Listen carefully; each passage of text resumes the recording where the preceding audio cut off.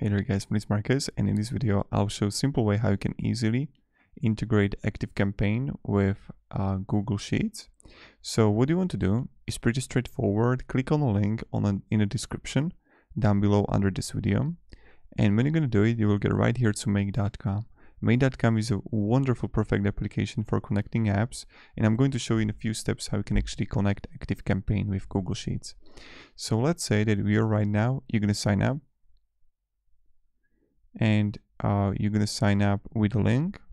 Then you will be here in your organization and you want to simply click to scenario.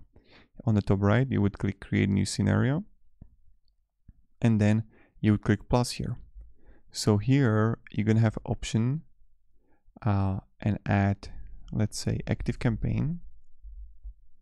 So I'll click active campaign and you can easily create a contact, create, update contact, delete a contact, get a contact. So I'll click here, create a contact.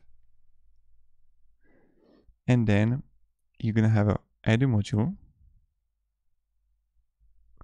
and add a mod module and sheets. And you're going to find Google Sheets here.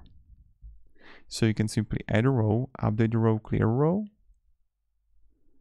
And then you're going to have it here right here. So you're going to have active campaign. When you're going to have contact, we will add a row Google Sheets. You always have to join the account here but you can, let's say, I can come here, delete the module, click here, active campaign, and you can change it to list contacts, uh, like get a contact, get a current user.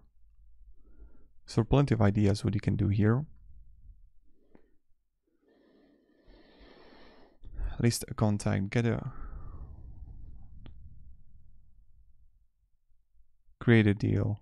So whatever uh, like thing you want to have here.